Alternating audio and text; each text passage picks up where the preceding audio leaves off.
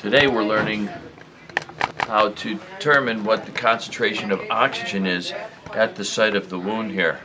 In this individual, we need to find out if arterial circulation is adequate and also if venous circulation is inadequate. What we do here is we affix these leads to the skin and we can tell pretty much whether the individual has arterial insufficiency or poor circulation of blood as a reason why this wound's not healing. We can do that without fancy ultrasounds or CT scans, simply by checking whether there's oxygen percolating through the skin. If we determine that there's oxygen deficiency at the wound site, we need to explore next how to reverse that.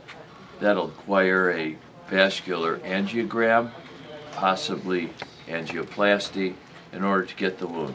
The most important part of this is the history that the patient gives us, that the pain at the wound site is extremely exquisite and generally keeps them up at night and is improved by leaving your feet off the bed so that gravity will actually improve the pain because gravity improves the circulation to the wound as opposed to if it's a venous problem where getting your leg up over your heart, returning blood to the heart, will improve the pain in the wound. Here at Encompass Healthcare, we're doing a simple bedside diagnosis to determine if arterial circulation is adequate. So what is that machine telling us? This is a transcutaneous oximeter and it's telling us here that 6, 9, 6 and 2 millimeters of oxygen is currently the pressure of oxygen concentrated at the wound site. We generally know that 30 millimeters of mercury is what's required for wounds to heal.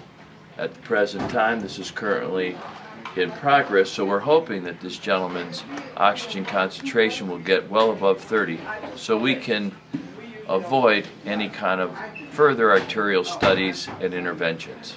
During the course of this test, we'll likely give this individual some oxygen supplement to see if the oxygen concentration rises with the leads on. In that setting, if it does, he might be a candidate for hyperbaric oxygen therapy, which will show us and help us get that concentration of oxygen high enough so that he'll be able to heal that wound. Thank you for joining us. A wonderful day at Encompass Healthcare. Rob, I don't know where my, my prescriptions were. I'm so upset. That's the second time I lost them. Come on, Inky.